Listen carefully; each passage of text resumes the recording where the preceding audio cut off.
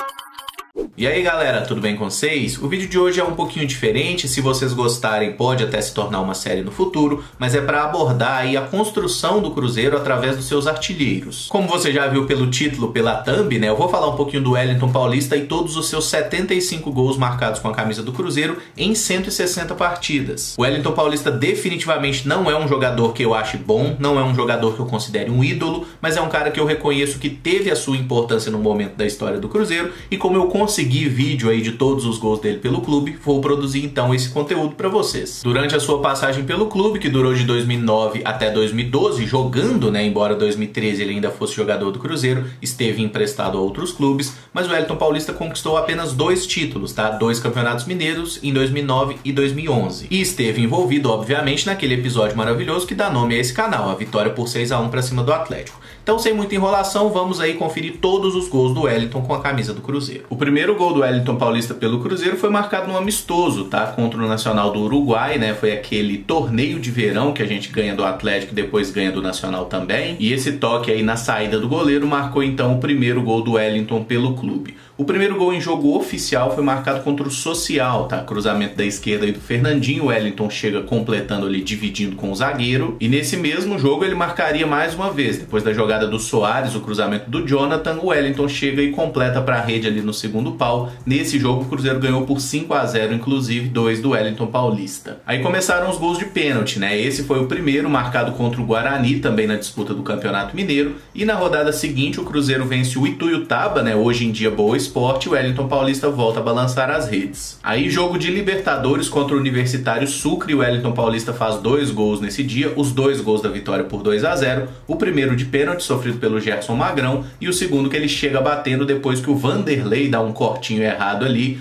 Wellington chega e garante o nosso triunfo. Mais um gol de pênalti contra o Rio Branco, tá? Campeonato Mineiro daquele ano, ele toca aí deslocando o goleiro e contra o Ituiutaba marca também esse gol depois do cruzamento do Henrique, né, a jogada iniciada pelo Kleber, o Wellington Paulista chega e completa, a bola ainda pega na trave antes de entrar. Já disputando o Campeonato Brasileiro, depois dessa boa jogada coletiva contra o Inter, que nasce com Gerson Magrão, passa ali pelo chute do Zé Carlos, o Wellington Paulista chega e completa para a rede no rebote do Michel Alves. Ficou 1 a 1 esse jogo e na rodada seguinte contra o Barueri, o Wellington Paulista volta a marcar nesse toque de cabeça depois do cruzamento do Wagner. O zagueiro e o goleiro tentaram evitar, mas a bola cruzou totalmente a linha e nesse momento ficou 2 a 2. Aí o Wellington começou a sua fama de carrasco contra o Grêmio, tá? Aí na Libertadores 2009 ele marca esse, o primeiro gol na vitória por 3 a 1 na semifinal, que foi na nossa casa. E no jogo de volta lá no Olímpico, o Elton Paulista marca mais duas vezes. A primeira depois dessa boa jogada do Kleber pelo lado direito, ele completa praticamente pro gol vazio. E marca também o nosso segundo gol na partida depois do cruzamento do Jonathan. Ele dá uma cabeçada muito bonita aí, um peixinho no canto, né? Sem chance pro Vitor. Esse jogo acabou 2 a 2 né? E como o Cruzeiro tinha vencido na ida por 3 a 1 chegamos na final da competição continental. Aí tem mais um gol do Wellington contra o Grêmio, cobrança de pênalti aí, mas essa partida foi já pelo Campeonato Brasileiro. E o engraçado é que o Wellington Paulista bota a mão no ouvido e tudo e tal, porque o Cruzeiro tinha aberto o placar com um homem a menos e esse jogo acaba Grêmio 4 a 1 Contra o Coritiba, mais um gol de pênalti do Wellington Paulista aí no primeiro tempo.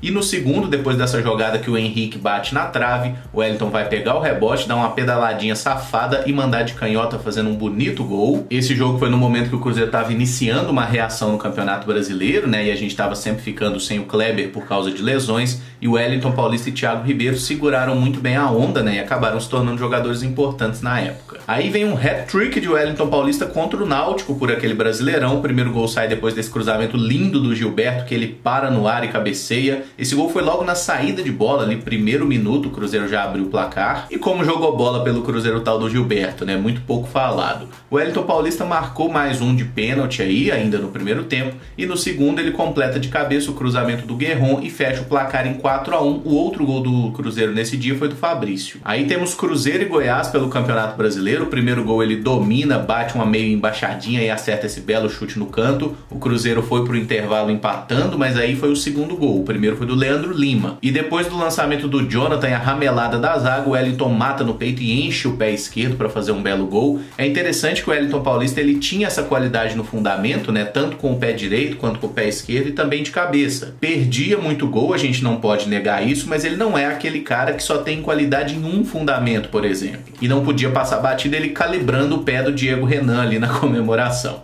Aí depois vem clássico, Cruzeiro e Atlético pelo brasileiro, a gente ganha por 1 a 0 com esse gol do Wellington depois do bom cruzamento do Thiago Ribeiro. E com comemoraçãozinha e tudo, né? O Wellington Paulista, o o o, o. gol em clássico e gol bonito a gente vê mais de uma vez, né? Aí veio o jogo contra o Fluminense, o Wellington marca esse belíssimo gol que ele corta o zagueiro que passa igual um idiota ali e ele bate de canhota ali no contrapé do goleiro. E o Wellington Paulista tinha errado um pênalti pouco depois. Esse jogo acabou mal pra gente, né? O Cruzeiro acabou perdendo essa partida de virada mas não vamos lembrar disso, vamos focar na coisa boa. Reta final de Brasileirão, o Cruzeiro recebe o Curitiba, o Wellington Paulista marca esse belo gol de pênalti aí, enchendo o pé, e esse uniforme era bonito pra burro. E com o mesmo uniforme a gente enfrentou o Santos, última rodada do Campeonato Brasileiro, o Wellington Paulista marca o primeiro gol depois de receber o passe do Jonathan, não comemora, né, em respeito à passagem anterior que teve pelo Santos, e esse dia o Cruzeiro vence por 2 a 1 com aquele gol do Kleber espetacular. A temporada de 2010 começa com esse gol do Wellington contra o Real Potosí pela pré-Libertadores, gol fora de casa que foi importante. Acabou que na volta o Cruzeiro passeou e ganhou por 7 a 0. Contra o Vila Nova pelo Campeonato Mineiro, ele marca esse de cabeça, ó, depois da bola alçada pelo Bernardo, ajeitada para o meio ali, ele completa para a rede quase na linha e também balança as redes da Caldense depois da cobrança de escanteio, ele se antecipa ao goleirão e toca aí pro gol. Salvo engano, foi nessa partida que o Fábio defende dois pênaltis, né, que são cobrados pelo mesmo atacante inclusive. Aí temos um golaço do Elton Paulista contra o América pelo Campeonato Campeonato Mineiro daquele ano. O irônico é que a bola não entraria, ela pegaria no travessão e sairia, mas bateu no goleiro Gleger. No entanto, na súmula foi dado como gol do Wellington Paulista e o chute foi muito doido, né? Um chute de longe. Mas aí veio o confronto contra o Ipatinga, o Cruzeiro foi eliminado do campeonato nesse dia, tá? Tava 3 a 0 quando o Wellington marca um gol de pênalti. Duelo contra o Havaí pelo Campeonato Brasileiro daquele ano, o Cruzeiro sai perdendo por 2 a 0 mas busca o empate com dois gols do Wellington, esse primeiro depois do cruzamento do Thiago Ribeiro e o segundo de pênalti, é claro. Aí vem o jogo contra o Atlético Goianiense, última partida antes da parada para a Copa, e o Wellington Paulista marca nosso único gol nesse dia. O Cruzeiro acabou perdendo lá em Goiânia, tirou do goleiro e botou pro gol vazio. Aí tem dois amistosos nos Estados Unidos, tá? Esse é contra o New England Revolution. O Cruzeiro vence por 3 a 0 e o Wellington marca os três gols. O primeiro depois de driblar o goleiro e tocar pro gol vazio. Depois da cobrança de escanteio do Roger, o Wellington Paulista marca o segundo, aproveitando a indefinição dos zagueiros ali, ele bota na rede. E o Wellington marca seu terceiro depois da jogada do Thiago Ribeiro. Pedalou, sambou, apanhou da bola, mas ainda assim ganhou, puxou para a direita e cruzou na cabeça do Wellington, que garantiu aí o triunfo por 3 a 0. Depois tivemos o um amistoso contra o New York Red Bull, lá nos Estados Unidos também. O Cruzeiro ganha por 4 a 2 e o Wellington marca esse belíssimo gol. Ele recebe do Jonathan, dá um cortinho lindo no zagueiro e toca na saída do goleiro. E tá pouco dura a cintura do zagueirão também, né? O Wellington fingiu que ia, deu corte, o zagueiro não conseguiu virar até hoje, coitado. E peço que deem um desconto pela qualidade da imagem, que em muitos lances não tá o ideal, mas é o que a gente pode conseguir. Aí no retorno das competições, após o Mundial, cruzamento do Thiago Ribeiro e o Wellington de cabeça bota no campo contra o Furacão lá na Arena da Baixada. E depois vem um gol espetacular, né? Cruzeiro e Atlético na Arena do Jacaré só com torcida do nosso rival. E o Wellington domina depois de receber do Fabrício e acerta um chute espetacular no ângulo. A bola ainda pega no travessão antes de entrar. O Fábio Costa ficou quietinho e não tinha mesmo o que fazer, né? Não tem como pegar uma bola dessa. Aí Cruzeiro e São Paulo lá no Morumbi. Esse dia o Cruzeiro quase venceu São Paulo. Depois do bate-rebate ali, o Thiago Ribeiro manda pro meio e o Wellington confere pra rede. E eu digo que quase vencemos nesse dia, porque estava 2 a 1 pro Cruzeiro até o finalzinho, mas aí o São Paulo empatou com o gol do Ricardo Oliveira. No jogo contra o Fluminense, né, a gente ganha por 1 a 0 com o gol do Wellington Paulista, que na comemoração ainda diz eu sou foda, e foi uma espécie de final de campeonato, né? Com essa vitória o Cruzeiro assumiu a liderança, depois acabou perdendo, aí teve Sandro Meira Hit também, e foi o último gol dele nessa temporada 2010. 2011 começa com esse gol de pênalti, muito bem cobrado aí contra a Caldense, e depois o Wellington marca no clássico contra o Atlético, depois de pegar a bola ali com muita qualidade, né? Fez um domínio bonito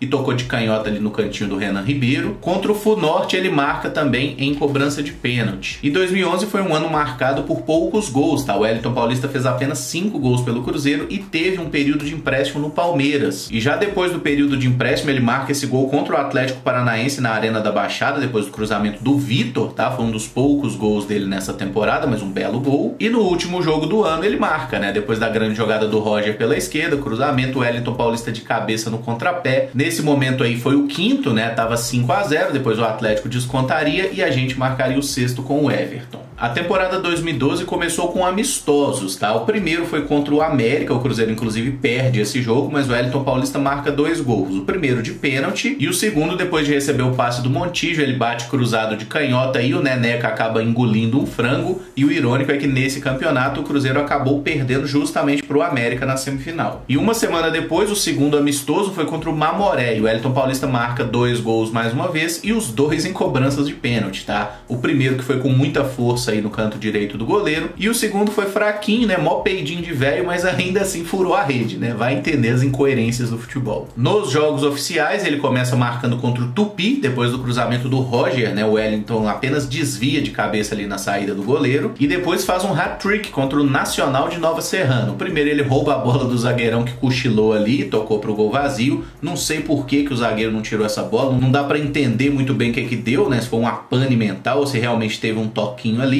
O segundo vem depois do cruzamento do Marcos, que o zagueirão dá um desvio ali, tira do Anselmo Ramon, mas o Wellington Paulista meio na cagada, né? A bola bate nele e vai pro gol. Ele até para a cabeça, né? Mas a bola já tava vindo naquela direção, teve um pouquinho de sorte. E ele marca seu terceiro gol no jogo, depois desse lance em que o Montijo cruza, o Anselmo Ramon não alcança mais uma vez e o Wellington apenas confere, foi 4 a 2 pra gente. Aí o Cruzeiro recebe o América de Teófilo Otoni, né? E o Wellington Paulista marca dois gols. O primeiro nessa cobrança de pênalti aí, muito boa no canto. E o segundo, depois do passe do Anselmo Ramon, ele bate muito bonito, acerta o canto, né? No lado oposto ali, no contrapé do goleiro. O Wellington Paulista que tava jogando com aquelas tatuagem falsa no braço, sabe? Definitivamente o Wellington Paulista é um jogador peculiar. Mais um gol de pênalti, dessa vez contra a Caldense lá em Poços de Caldas. Esse jogo acabou 5 a 0 pro Cruzeiro e com essa comemoração muito carismática. E o Wellington marca também contra o Boa Esporte, depois da jogada do Marcelo Oliveira pela esquerda, ele cruza e o Wellington de cabeça toca no canto, o goleirão não alcançou. Aí mais dois gols contra o Uberaba, tá? O primeiro depois do cruzamento do Alisson, o Wellington Paulista desvia aí, né? Apenas um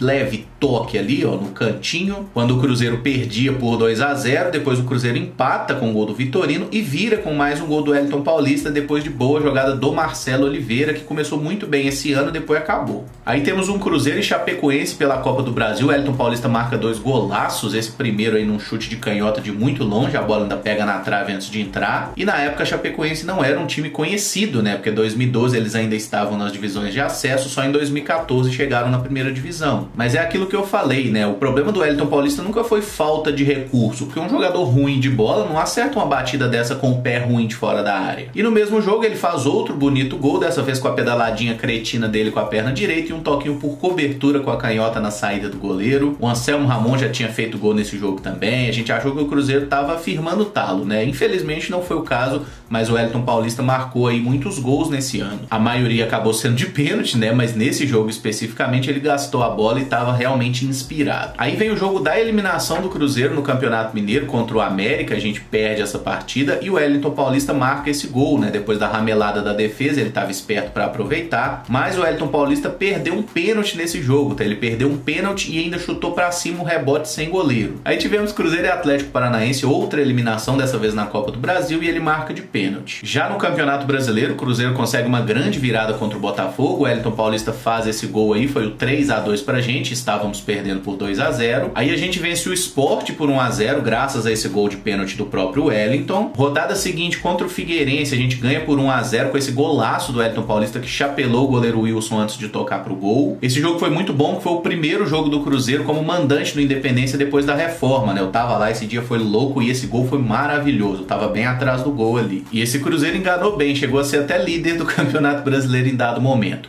Aí a gente ganha do Vasco em São Januário com mais um golaço do Wellington Paulista, tocando por cobertura aí sobre o Fernando Praz. Belíssima assistência do Montijo, né, que deixou o Dedé para trás ali na jogada e a batida do Wellington foi muito feliz, muito precisa. No jogo contra o Grêmio, o Wellington Paulista marca esse gol de pênalti, já tava 3 a 0 pro Grêmio nesse momento, quando ele apenas diminuiu o vexame. E aí o Cruzeiro consegue uma vitória contra a Portuguesa por 2 a 0. O Wellington Paulista faz o gol de pênalti e o goleiro era o Dida, né? Por isso mesmo a gente tem que dar um destaque aí, porque bater pênalti no Dida nunca foi fácil. Aí vem o jogo contra o Fluminense, que depois da cobrança de lateral, o Elton Paulista marca o gol. Provavelmente essa bola pegou no braço dele antes de entrar, não dá pra gente ter muita clareza sobre isso, mas o importante é que o juiz validou o gol. Mais um gol de pênalti marcado contra o Atlético Goianiense, tá? Apenas deslocando aí o goleiro Márcio. Nesse momento ele já tinha perdido a vaga de titular. O Wellington também balança as redes no jogo contra o Náutico, essa vitória por 3 a 0 ele recebe a assistência do Tinga. E esse foi um jogo que ficou marcado pelo gol do Elber, né? Foi o primeiro gol do Elber como profissional. Ele tirou a camisa, beijou, reverenciou e tudo mais. Pena que não jogou nada depois. E o último gol de Wellington Paulista pelo Cruzeiro foi um gol meio sem querer, tá? Contra o Coritiba. Ele faz o cruzamento, o Tinga não acerta a bola, ela dá uma raspadinha no zagueiro e vai pro gol. Acabou sendo dado o gol pro Wellington Paulista e fechou assim os números, né? 75 gols pelo clube, sendo 66 deles em jogos oficiais. Fechando aí a lista, né? O Wellington Paulista marcou muitos gols com a camisa do Cruzeiro, belíssimos gols inclusive, e muitos gols de pênalti também, a gente não esquece. Mas é legal destacar que ele é o segundo maior artilheiro do Cruzeiro nesse século, tá? Só o Fred marcou mais gols pelo Cruzeiro e eu prefiro nem falar muito do Fred nesse momento. E só um questionamento de leve, né? Você gostaria do Wellington Paulista de volta pro Cruzeiro nesse momento, assim, 2020? Porque eu não gostaria de jeito nenhum, eu acho que a gente deve valorizar o passado, mas deve saber deixar o passado no passado.